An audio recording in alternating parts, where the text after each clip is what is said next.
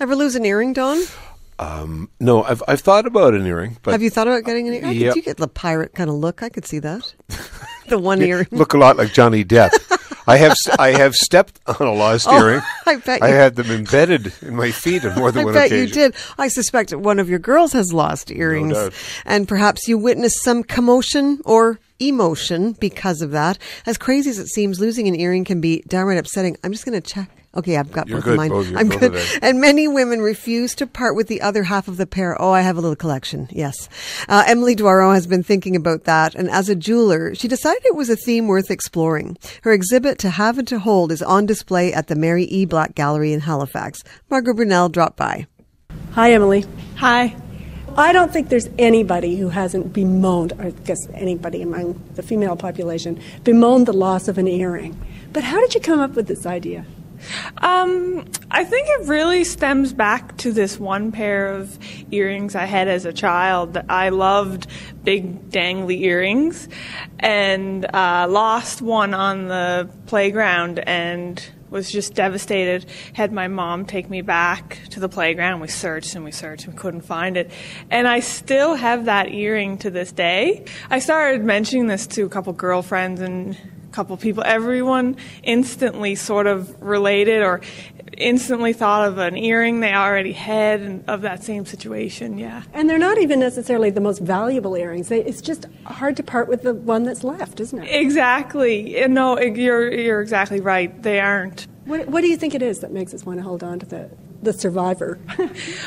I guess hope, whether it be hope to find it or, um, and then reinvention as well. I had some people say that they would just, you know, take parts of it apart and make two new earrings or uh, wear mismatched earrings, that sort of idea as well. and there's no reason why we don't do, we can't do that. You know, I was reading in the book there that somebody says she always wears mismatched earrings. Yeah, yeah, exactly. And I've even found through a little bit of research too, you know, uh, people reinventing the earrings, making them into like craft projects of other sorts. And you've done that with a couple of pieces here. Uh, yes, for sure. Uh, these stories have definitely inspired uh, new earrings, I guess you could say, is yeah, and new pieces of jewelry. Do you wear earrings every day? I do, yeah. Sometimes jewelers don't wear much jewelry because it can hinder the process of making jewelry. Um, Why do you say that? Well, taking off safety masks and respirators, my earrings have gone flying Oh, before. um, but no, I definitely, uh, it's one of those things, I don't like leaving the house without a pair of earrings on. Yeah, I'm like that too. And I'm very conscious of whether they're on. It's as if somebody is tapping me on the shoulder when it's gone, and I immediately start looking. Yes, yeah. It's an obsessive compulsive disorder or something. yes, I was at a Shoppers Drug Mart one time, and uh, an employee there was sent her coworker, "Can you please just go buy me a pair of earrings from the store?" She's like, "I forgot my earrings, and I feel naked." so, we are crazy. Yeah. to have and to hold. Why'd you call the exhibit to have and to hold? um, I guess it, to me, it very much resonate with the idea of why people collect. It's sort of to have these objects and also to hold them.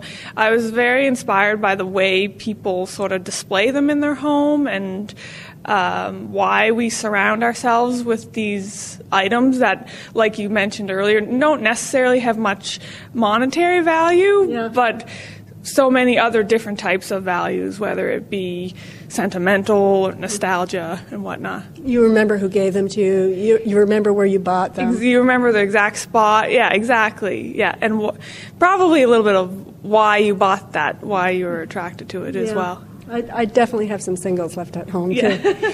um, I want you to read it as a couple of little stories here that you've collected. You've got a guest book out so people can add stories about lost earrings. Tell us this story here. I have a beautiful pair of diamond earrings that were a gift from my husband after the birth of my son. Several years ago, while we were staying at our apartment in Salzburg, Austria, I lost one of the earrings. I was bereft. I had been c- carrying in laundry from our drying line and had towels over my shoulder. And that's always what happens, right? It's like scarves or towels or something like Exactly, that, and there it goes. And, they, and they searched everywhere for it. Everywhere, yes. Several days had passed, and we were on our way to the playground across from our apartment, and my husband noticed something shining in the sun in the parking lot. Uh-huh. This is a busy place with cars and two large apartment building, buildings uh, passing back and forth several times a day. Garbage trucks, delivery trucks, bikes, very, very busy parking lot.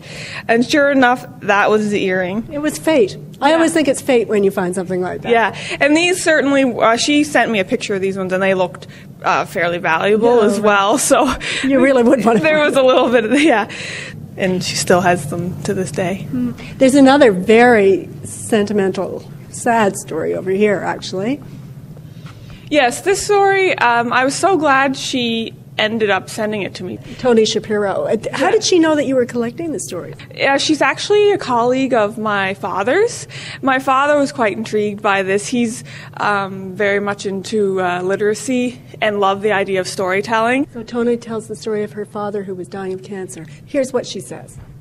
In the last days before his death, he had asked my mother to bring him a large box that he kept in the closet. He wanted me to sit with him when he opened it. When he pulled back the cover, this is what I saw piles and piles of earrings big ones, small ones, sparkling and dull, dangles and studs, beautiful and ugly, ostentatious and plain, pierced and non pierced, and all of them with no mates. All single. Yes. For many years, I watched him searching the floors and the streets of wherever he was. He always seemed to be on a treasure hunt of some sort. It was a serious business. On occasion, I would see him bend down and put something in his pocket. I always thought it was money. Sitting close to him that day, looking at the earrings together, I could see that he was thrilled with his treasure box. He played with those earrings most of that day and kept the box with him while he slept. The following day, he offered the box to me. He died a few days later. Whenever I hear that someone has lost an earring, I wonder if it was sitting in my dad's treasure box. That's a great story. Yeah. I, I think I'm going to start doing that now, picking them up and saving them. You've also got a box of singles do, here, yes. too?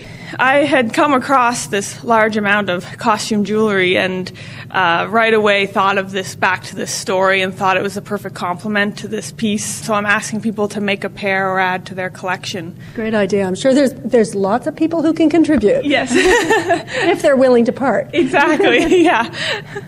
Well, that's really a neat story. Thanks a lot for sharing it with us. Thank you very much. Beautiful jewelry. Thanks. Margot Brunelle with jeweler Emily Doiron. Her exhibit to have and to hold is at the Mary E. Black Craft Gallery until May 25th, and that's at 1061 Marginal Road. It's just a short hop from the Seaport Farmers Market.